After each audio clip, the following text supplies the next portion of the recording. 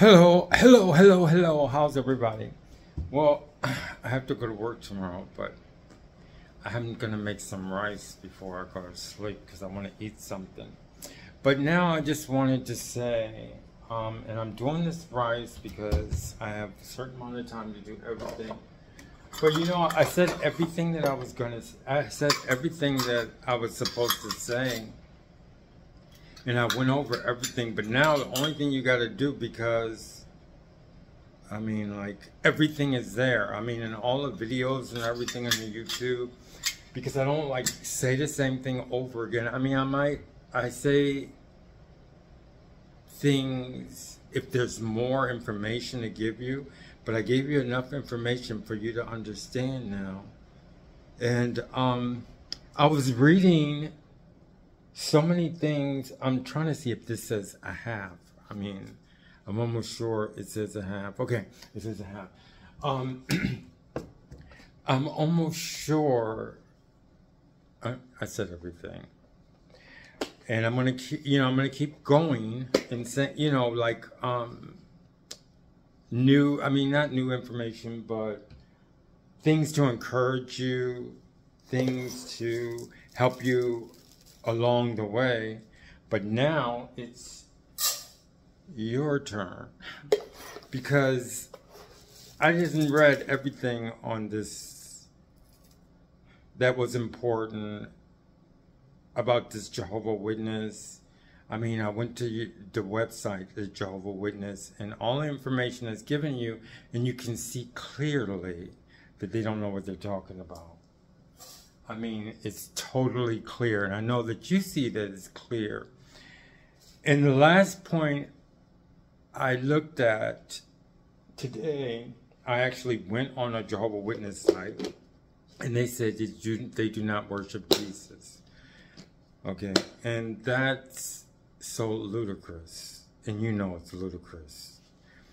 Um, not just that, but then you look at another point and it doesn't go coincide with the other coincide with the other points.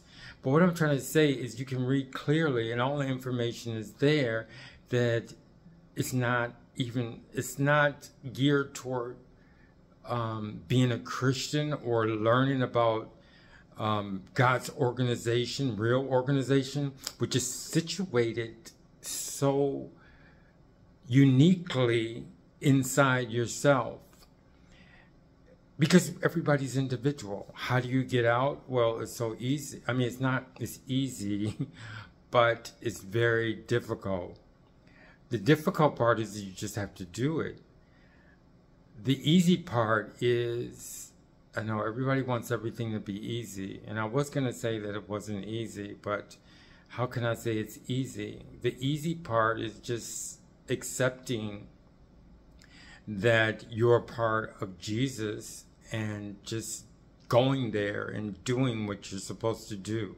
The hard part is the physical part. That's the hard part. Um, the physical part is, what you have to do, is showing everyone by just getting up and going. I mean, that's the hard part, is that you have to tear yourself away from what you believe and now you believe in Jesus. And you know because everything that I went over, and I know that you're just as smart as I am, and you can see everything that this organization that you're in, it just um, it contradicts themselves. I mean, they say they believe in Jesus, then they say they don't believe in Jesus, then they say they're God, and then they mention this Jehovah, and Jehovah is the use for everything that's which is confusing, you know, and um, it made me hard to it made it hard for me to explain. But that's one thing I like about YouTube though, because I was figuring because I I pay attention to everything, and I noticed and I was listening to other people's YouTubes, and I was wondering they speak differently from what I learned in college and what I learned in school. Well, it's a new natural way because the YouTube you can't like use notes and everything and keep referring to papers and everything. So you depend on your natural ability to explain things. So I was down in myself for a lot of things that I was, the way I was saying things, but then I was looking at other YouTubes and I was saying like, oh, get to the point or do this or do this. But then I found out because I was thinking about it and I was saying, wait, this is a natural way to understand things and YouTube has developed this because you can't use papers, you can't use books. You have to use what's in your heart. You have to study a lot for these YouTubes. But when you explain, you have to develop your mental capabilities without paper or anything from your heart and how your heart speaks. So in my last one, I think it was the last two. Okay, the last YouTube that I was looking at was this um, guy who was explaining about this dog. He was in a um, or he was in this orphanage for for stray dogs, and it's, it's such a nice video. Maybe I'll post it to show you how he spoke about this this this dog.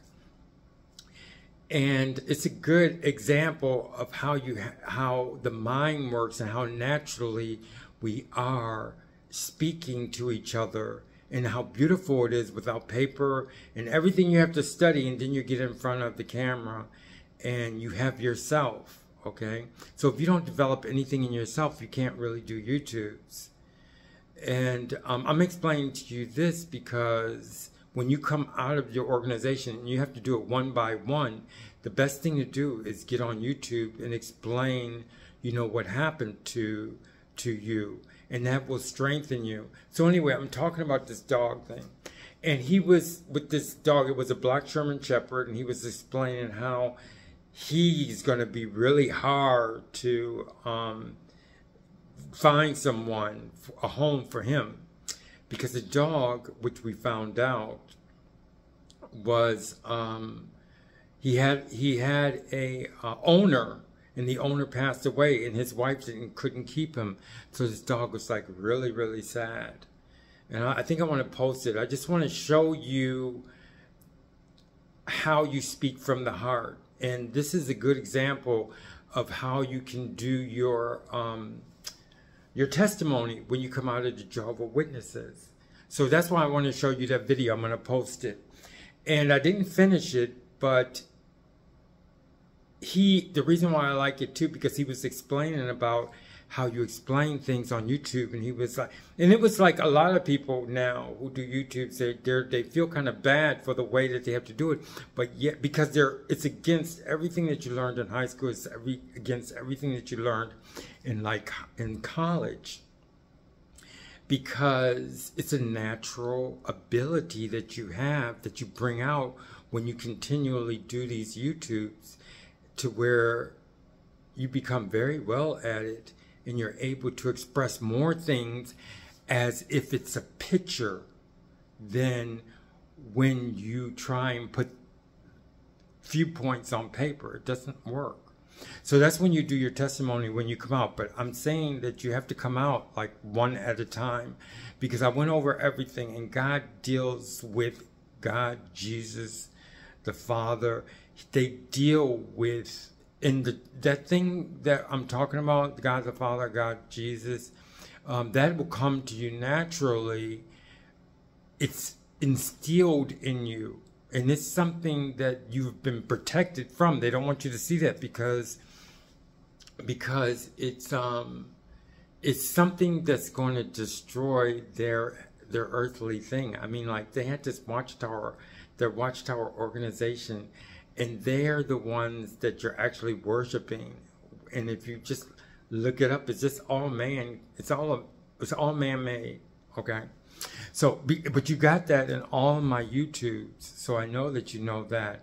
But you have to come out individually, which I figured out. The reason why you're coming out individually is because um, you're individual. God deals with people individually, one one at a time or whatever you want to say, but each person individually.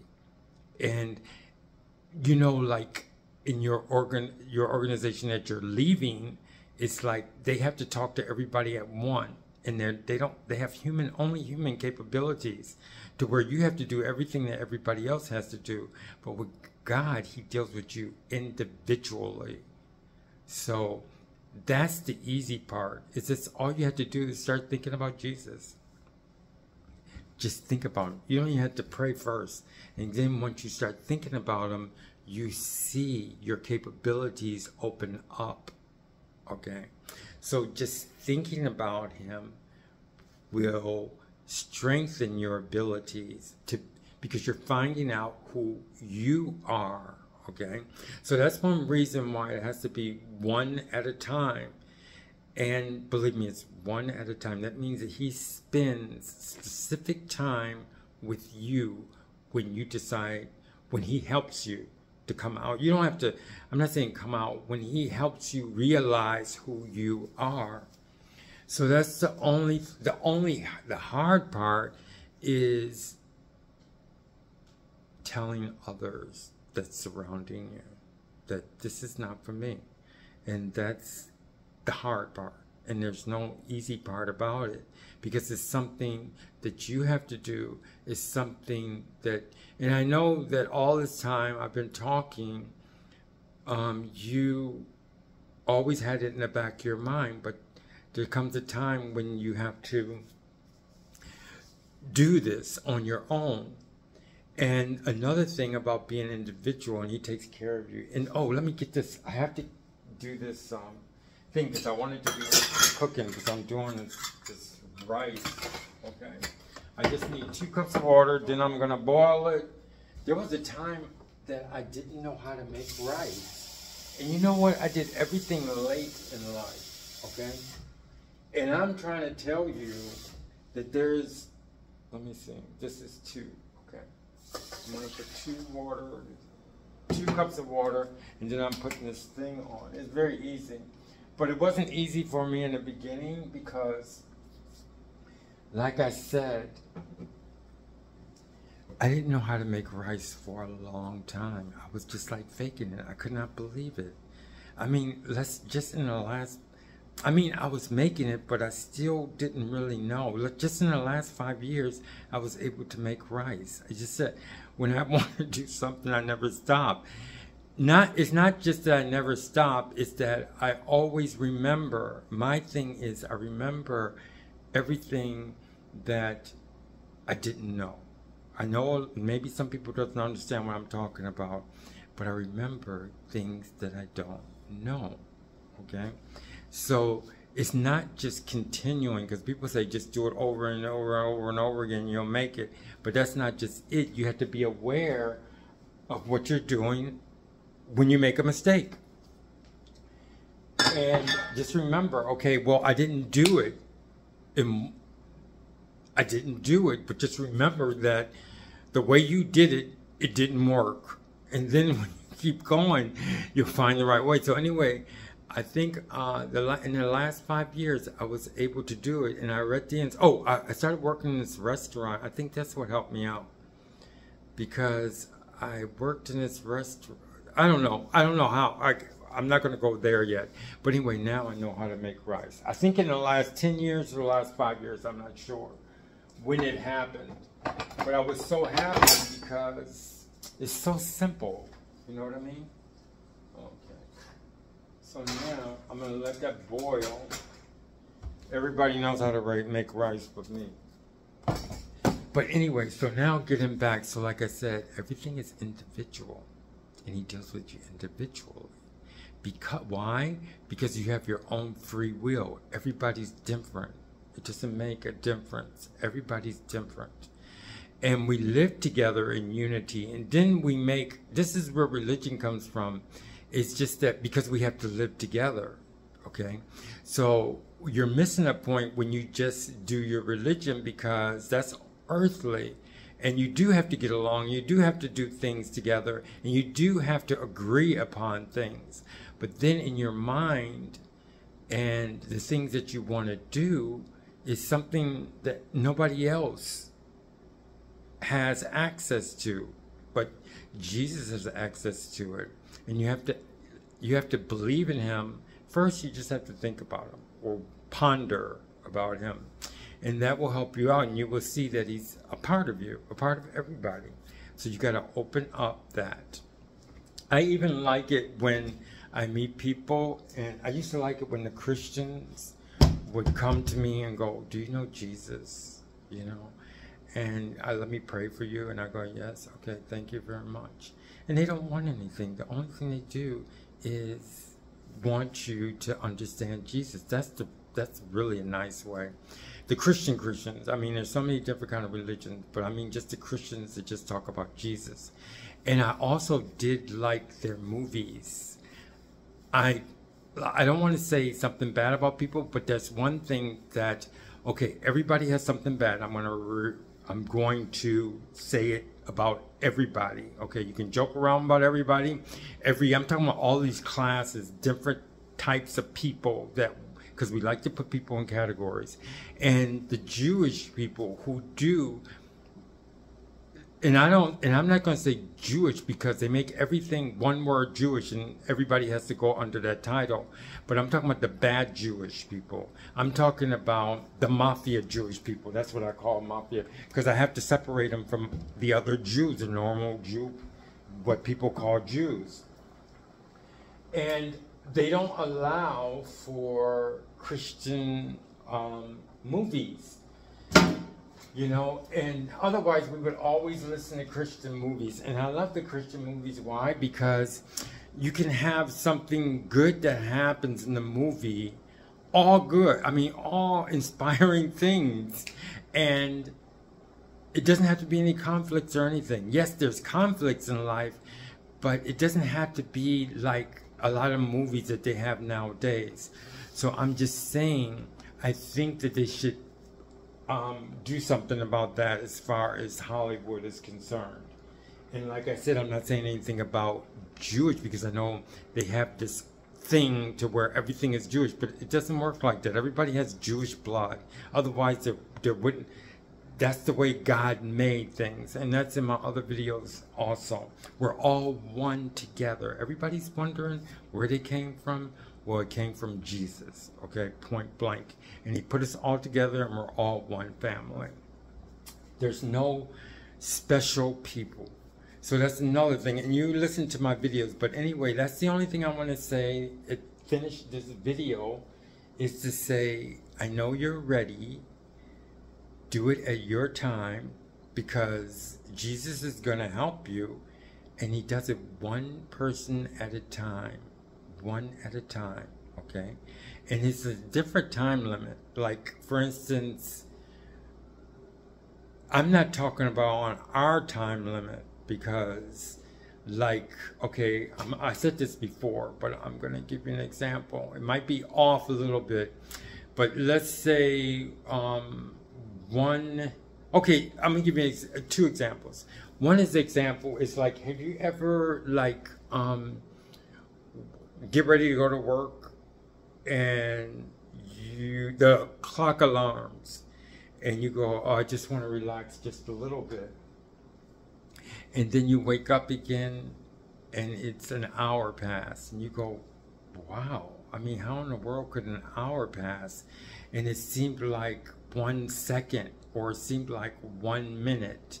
Well that's what i mean about a different time zone. Okay so that's one example don't think too much about it. You just know it happened. Okay, there's different kinds of thinking also. And um, I'm gonna put this top on because it boiled. I'm almost sure it boiled. Let me let it boil again because I have to because I'm doing two things at once. Now the other thing is like one minute. Okay, let's say. Now I'm not gonna say one minute. Uh, let's say one week in how can I say in a heavenly sort of way. Okay, I'm just using hypothetical. In a heavenly sort of way, one week. Do you know how much can be accomplished heavenly in one week? I would say one week is like wow. It's it's it's over a year. Okay, because you got to look at it too. a year is what 365 days, and a lot of people don't realize it's just 365 days. Okay, so when you say one week in a like heavenly type of way, is that would be over a year. Yeah, it would be like over a year. I mean, so that's hypothetical though, but I'm trying to give you an example of how Jesus, and I'm going to keep saying Jesus because that's where you're lacking your information. Um, that's how Jesus works. And this is all I want to say, and I hope everybody enjoys this. But you've been with me for a long time, and I'm going to keep doing things differently. But as you can see, I went through the fine lines, and I said pretty much said everything. And like today, I went over all these points, and I looked at the Jehovah Witness, um, Watchtower Bible and Church Tract Society, and I went through all of that, and I said, yes, it's clear that they are um, deceiving that they pretty much don't know what they're talking about and their points don't match okay? And you have everybody out out here outside of the Jehovah Witnesses who feel really bad that they have these people who are pretty much like hiding you or just hiding or blinding you. That's what I can say, that are blinding you. And you don't have any access to information they give watchtowers and they give they give these information to you, but they don't even say where they got the information from. So anyway, that's all I want to say. And welcome, and remember, one at a time, take your time, and remember that you're individual and you're dealt with individually. Okay? Thank you very much. I see you bit later. Bye.